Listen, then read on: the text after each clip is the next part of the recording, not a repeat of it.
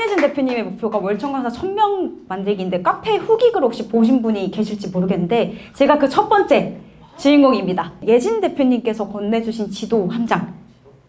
오, 모두에게 하나씩은 조금 건네줄 수 있다고 생각을 합니다. 모든 기회를 절절하게 붙잡고 성사시켜야 되는 건 남이 아니고 여러분이 하셔야 되는 것 같아요. challenge를 시작을 하고 one-day 특강이 6개월 프로젝트로 되고 강사부터 컨설턴트 심사위원 포럼 참석까지 원큐에 끝내게 됩니다.